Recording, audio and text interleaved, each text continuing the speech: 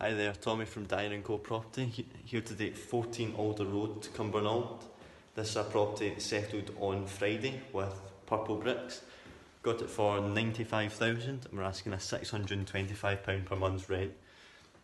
We've had a lot of inquiries so far, I think we've got about 15 people booked in for the first viewing on Wednesday. So it's a, a, a great response for the, for the rental income.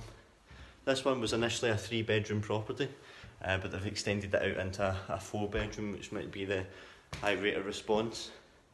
This one just requires all the usual safety certificates and a bit of redecoration in the rooms just to get it up to neutral colours. But overall, great purchase and a great response. Happy to have it. Cheers.